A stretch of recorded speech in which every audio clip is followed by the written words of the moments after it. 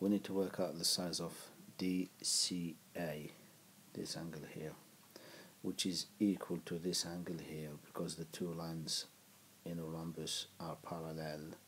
So these two are alternate angles. And uh, we know as well that triangle ABC is isosceles. Therefore this angle here equals this angle here so I know that ABC angle ABC is equal to 180 take away CBE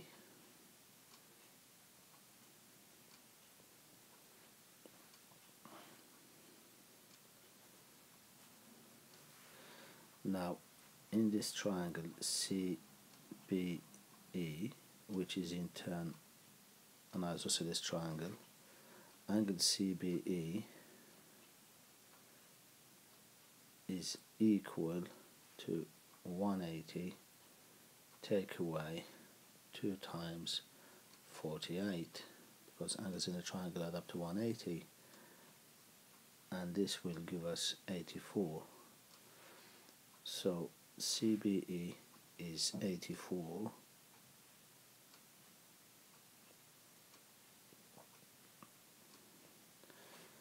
this means that ABC angle ABC will equal 180 take away 84 which is equal to 96